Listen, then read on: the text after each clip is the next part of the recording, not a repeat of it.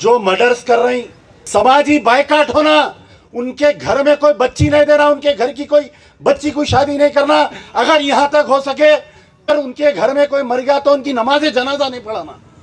अब जब तक कौम के रहनुमा ये सख्ती नहीं करेंगे, ये मर्डर कल्चर रुकने वाला नहीं है ड्रग्स कल्चर रुकने वाला नहीं है।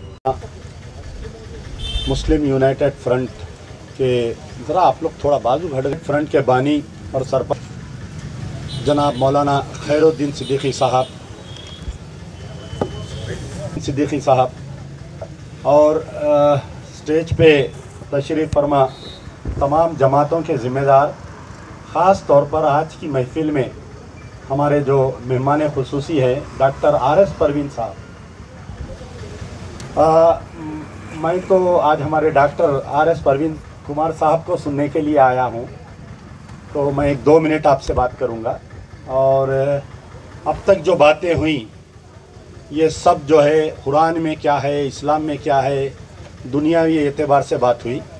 मैं जो बात करूँगा कि मर्डर के बाद की बात करूँगा मैं तो इसको कंट्रोल कैसा करना चाहिए? आप देखिए, आज का जो इशू है ड्रग्स मर्डर और इंटरेस्ट ये सबसे ज़्यादा, क्योंकि हम डेली देखते हैं ये मुस्लिम्स में ज़्यादा हो है आप, पहले मैं ड्रग्स की बात करूँगा कि ड्रग्स कल्चर पहले इतना नहीं था हमारे कने हैदराबाद में।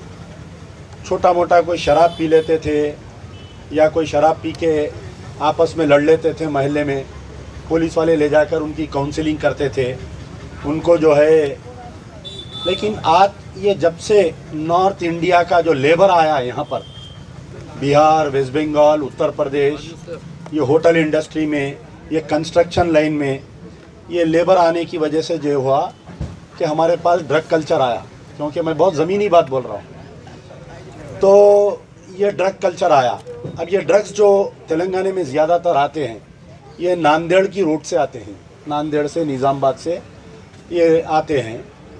आज से कुछ दिन पहले एक तस्वीर मैं देखा था कि चीफ मिनिस्टर केसीआर साहब के कोई भांजे गुटखा खाने से उनको कैंसर हो गया था।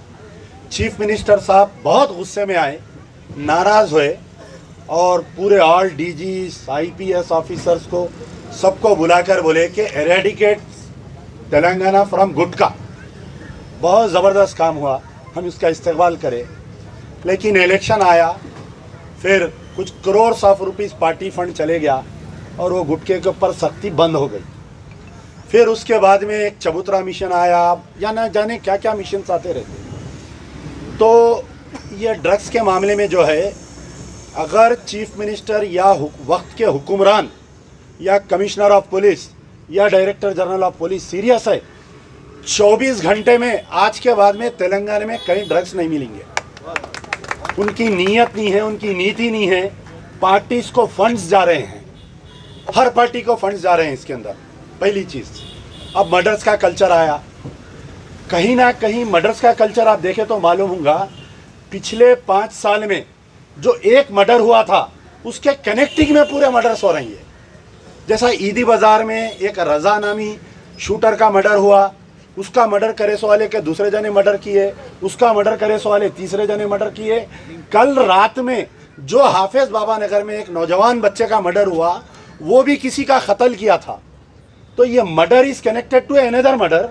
This murder is connected to an another murder अगर वो जो पहला मर्डर किया, पुलिस वाले सख्ती करते नव्वद दिन के अंदर चार्जशीट डालते, हम हुकूमत पे रोते, हम पुलिस वालों पे रोते, भाई पूरा मर्डर कल्चर आ गया, पुलिस वाले कुछ नहीं कर रही भाई इंस्पेक्टर ऑफ़ पुलिस जो है, हर गली गली तो मर्डर के पीछे नहीं फिरता। कल रात में सी ब्लॉक में एक मर्डर हुआ, रात को बारह बजे। पुलिस स्टेशन से पाँच किलोमीटर दूर, चार किलोमीटर दूर मर्डर हुआ। तो वहाँ पर जो मर्डर हुआ, रात का वीडियो देखिए। बाज आफ्ता बच्चे को घेर के, भगा भगा के मारे। और मर्डर करने वाले पूरे 20 से 30 साल के अंदर है। जिसका कत्ल हो रहा, उन्हें भी 20 से 30 साल है। कत्ल करने वाले भी 20 से 30 साल है। और कनेक्टिंग मर्डर है ये। ईदी बाज़ार के मर्डर में टोटल 11 मर्डर हो गए, एक आदमी को रिवंज करने। हाफिज बाबा नगर का जो मर्डर हुआ, नौ मर्डर हो गए उसके अंदर, एक मर्डर के पीछे। तो ये मर्डर कल्चर अब पुलिस कैसा कंट्रोल करती? 90 डेज़ के अंदर चार्जशीट डालना, उनको बेल नहीं होने देना। जो मर्डर्स कर रही, ये आज जितने लीडर हैं, पूरे बैठे हुए हैं, वकला बिरादरी से मिलिए, खातिल को डिफेंड नहीं करना, खातिल को बेल नहीं करवाना। उनकी भी ज़िम्मेदारी है ना साहब वकला बिरादरी की भी। तो यहाँ पर जितने लोग हैं, आप सोल्यूशन सोल्यूशन बोल रहे थे, मैं आपका पॉइंट बोल दिया कि पुलिस वाले 90 डेज़ के अंदर चार्जशीट डालना बेल नहीं होने देना स्पीडी ट्रायल कराना, हर मर्डर का स्पीडी ट्रायल होना, हर मर्डर का स्पीडी ट्रायल होना। समाजी बायकाट होना, उनके घर में कोई बच्ची नहीं देना, उनके घर की कोई बच्ची को शादी नहीं करना, अगर यहाँ तक हो सके तो अगर उनके घर में कोई मर गया तो उनकी नमाज़ जनाजा नहीं पढ़ाना। उन, उनके साथ ऐसी सख्ती करना चाहिए। जब तक कौम के रहनुमा ये सख्ती नहीं करेंगे, ये मर्डर कल्चर रुकने वाला नहीं है, ड्रग्स कल्चर रुकने वाला नहीं है। अब रही बात हज व उम्र की बेहतरीन खिदमत का भरोसेमंद नाम Alheen global services private limited. Saudi अरब और हिंदुस्तान से मंजूर शुदा Alheen global services private limited. मक्का और मदीना के करीब रिहाइश और हैदराबादी लजीज खाने मुकदस मकाम की ज्यारत। डायरेक्ट फ़्लाइट, पंद्रह दिन का पैकेज, डीलक्स सिर्फ़ और सिर्फ़ पचियानौ हज़ार रुपये। और बजट पैकेज सिर्फ़ पचासी हज़ार। इसके अलावा लग्जरी ट्रांसपोर्टिंग। उजलत करें, देर न कीजिए, इस सुनहरे मौके से फ़ायदा उठाएँ। Alheen global services private limited. First floor Babu Khan state Bashir Bagh मजीद जानकारी के लिए double nine four nine nine four zero one six zero या फिर zero four zero four eight five four nine five eight six पर भी रबता कर सकते हैं।